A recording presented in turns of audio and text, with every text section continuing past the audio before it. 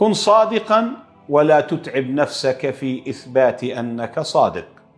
يقول الله تعالى يا أيها الذين آمنوا اتقوا الله وكونوا مع الصادقين. أمر بالصدق صدق الظاهر أي اللسان وصدق الباطن أي صدق القلب والفؤاد. فإن كان هذا حالك فأنت موفق بإذن الله أنت منصور بإذن الله.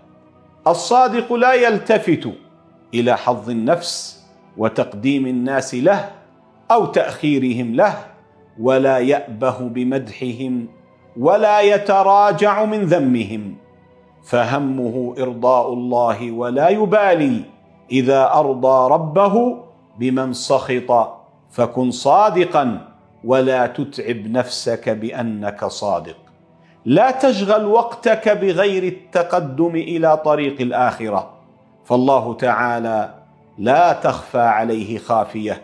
يعلم الصادق وغير الصادق وكل يفضي إلى ما قدم.